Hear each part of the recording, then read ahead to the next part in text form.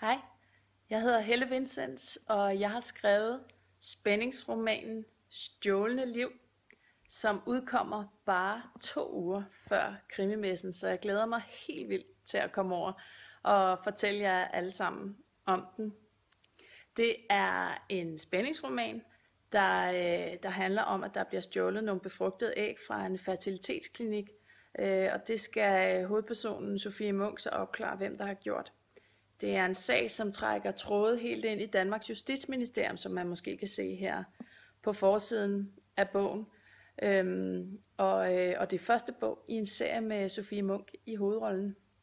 Jeg glæder mig rigtig meget til at komme til krimimessen og til at møde jer alle sammen, så vi ses i Horsens.